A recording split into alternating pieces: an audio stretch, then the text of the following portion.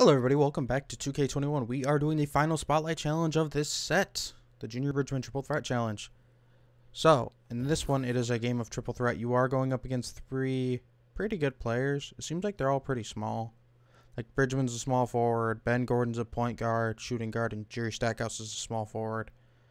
But, we are not going to be using what they're using. We're going to be using what I normally run, a one, a, one, a two or three, and a four or five. So these are car the cards we're going to use. We're going to use the new J.R. Smith card, and we're going to use the new Porzingis card. I literally just got him right after the last video for about 15, 17k or something. Something really low. So we're going to be reviewing all three of these cards. It's just 70 points. There is no overall challenge that we need to do. So it'll be fun. We can test each card for everything. So they're three their mid, their dunks, how can they drive, what are their layups, are they dunking on everyone? And they didn't lie. Last time it was the one game and it didn't even say who they were really using. So, ooh, Bridgeman is uh, running the point. That's fine. And J.R. Smith is against Bridgeman. I didn't know Bridgeman was so undersized.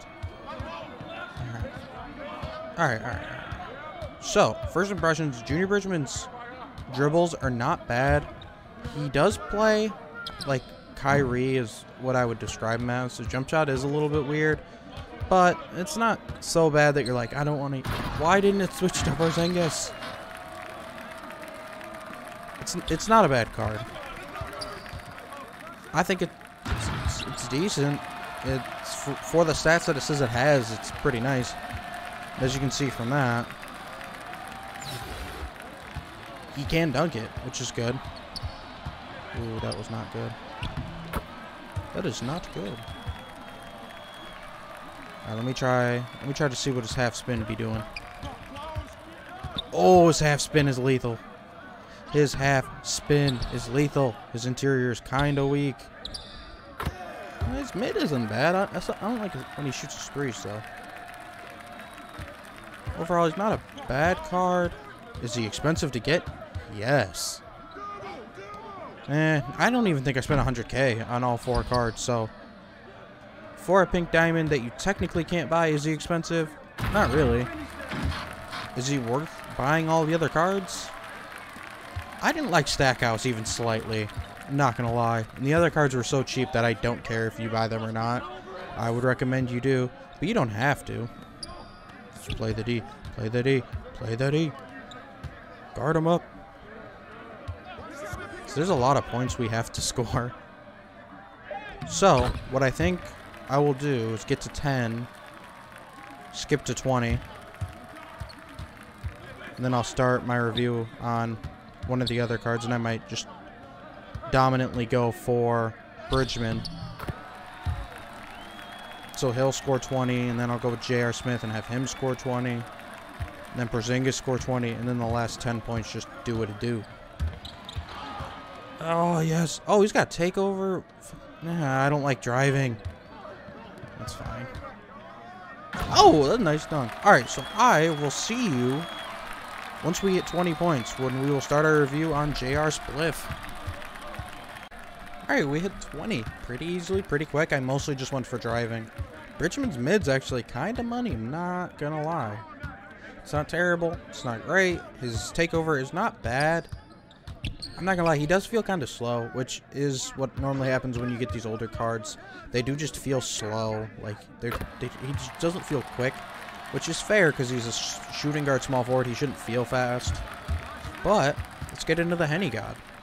Oh, there's one thing that I like is J.R. Smith cards, golds, diamonds. Doesn't really matter to me. I'll take a whatever because his release is so nice every year.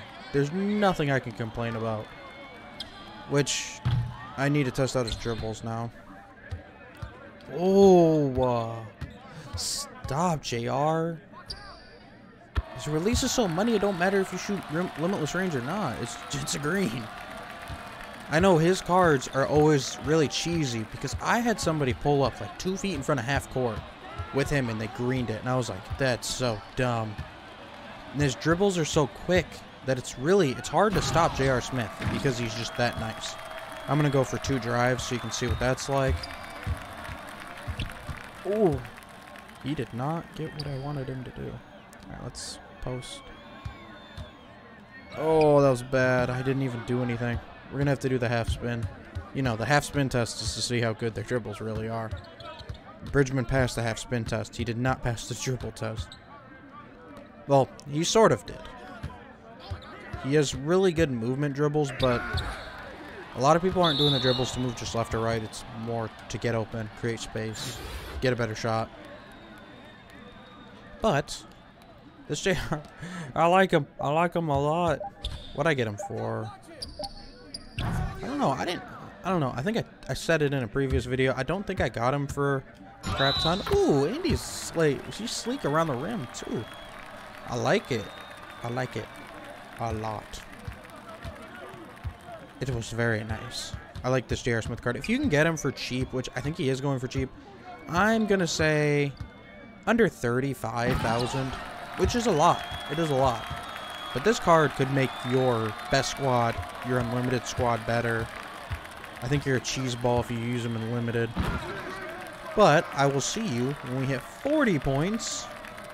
And we will start our Porzingis review. Alright, we hit 40. Time to review Porzingis. Porzingis is a card I already know doesn't have good handles. Which I don't really care because he's a power forward center 7-3. Like, his weird crossover is good enough for me. And he's so tall. Uh, trouble. Darn it. But to say, so tall you can really shoot over somebody and it doesn't feel like you're, it's like, oh, I shouldn't shoot this. Uh, he's a big man. No.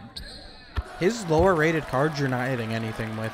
And it's because the rating is just bad and his shot is weird. But the higher overall you get for Porzingis, the better the card is. Because one, you use him, and then they can't cheese on their center and just sit in the paint, because he can pop a three just as good as your point guard can. The price I got him for, I think he had buy now is going for like 30, 40k. That is cheaper than cheap. I recommend getting Porzingis if you can get him for that cheap. He's a very good card. He can really guard the 3 through the 5. So if you run him at power forward and somebody just has a really good small forward in, you can just switch him on and he'll do it for you. That was a bad shot. That's okay though. Nah, that was bad. That was bad. I should not have done that. I need to take it in and see what I can do post-wise. Because they don't have any guards, so... I can test the stuff for what it is. If he was alone. And not, this is what he would do to somebody else. That was bad. It's not like they're catching up, so I'm not really worried. But, we are making a lot of errors with this card. Post him up. Post him up. Post him up. Go up. That's fine. He's not terrible. He does play like a weaker center, so if you went up against Shaq or somebody like that, you're not going to post them up. But you have good enough defense that at least on the defensive end, you can stop them just because of size alone. Because you have to think Porzingis is 7'3", Shaq is 7'1". Now, Shaq might have 99 strength, but that two extra inches in the much bigger wingspan will help you out in the end. On top of he's a great rebounder, he's a semi-good passer. Well, in-game, in real life he's alright. He's pretty good. But, Porzingis, with everything that I, I know that he can do, he's just, he's, he's too good not for you to pick him up. And it's not like, oh, he's a Knick or anything. No, Porzingis is a glitch in 2K. And there will never be a time, other than his lower rated cards, where I wouldn't recommend it. So, I'll come back when we hit 60 points. And I'll compare all the cards and tell you where I rate each card and which of these cards is the most important and which ones you could skip. We hit 60 points. As you can see, Bridgeman, J.R. Smith, and Porzingis all have their 20. So I was able to score about the same with everybody except for Bridgeman. Did get quite a few more inside shots. Porzingis and J.R. Smith both made four threes. So, on that end, I didn't shoot a lot with Bridgeman. Now, how would I rate these guys in order from worst to best? If I'm going worst to best, I'm putting this Bridgeman card dead worst. And the reason is, the Ben Gordon from the set that you need to get him, to me, is better than him. Like, Ben Gordon is a solid shooter with good enough defense. This Bridgeman, to me, doesn't have great defense, can't really shoot, and he's pretty much only a driver. But Ben Gordon can also drive. So why would you get go and set up all of them players just to get him? In the middle spot, which I don't know, they could for my top two, obviously there's only two left. Could be interchangeable. It depends on what you're whether you're using them and what you currently have. If you have a God Squad, the J.R. Smith card is good enough to run on most people's God Squads. Not gonna front any day of the week. And the Porzingis card is also pretty good, even if you have all of the best centers in the game. I would say Porzingis is my current best center power forward. So, if you need more shooting, you really could go with both. But I just like J.R. Smith's animations more, mostly because big men to me don't really matter that much, but Porzingis, just because of his size alone, makes him a really good defender. Yes, we get the score with Porzingis now. So I would say get J.R. Smith first just because of how good he is. And you don't have to do very much to get him in the first place. Oh, jeez. Porzingis, stop being weak. Push him in. Post fade. No, post up. Yeah, I would say get J.R. Smith first. Porzingis second. You don't really need to get this Bridgeman card unless you are a card collector, which I'm not a card collector. I just get everything that I want, which is most of the cards within reason. I'm not spending three, four hundred K for anything. I'm not spending 200K. I'll spend 100K, but that card has to be pretty good. Like, if I could get that, what is it, diamond or pink diamond, uh, who is it, um, John Wall, I would get that card. Bullet. But, as it stands, J.R. Smith is the best. Porzingis is number two and Bridgeman is skippable. Very, very skippable. It's not like there's anything bad about him. There's just other cards that are better. And for me, if there's cards better than you, and I have to spend so much to get you, like Bridgeman's worth more than I paid for J.R. Smith and Porzingis together. I could still go and get another... I think I might... Yeah, I'd still be able to get another J.R. Smith. So I could get two J.R. Smiths and a Porzingis for the price of this Bridgeman. Pump. Jab. Pull it. And that's why you should get him. He can he can make whatever he wants. So that's my review for all of these guys. And we are going to be getting the BJ... I can't think of his name. BJ something. I'll see because we just finished it. I'm surprised there wasn't a challenge for that, like get blocks or assist or something. BJ Armstrong.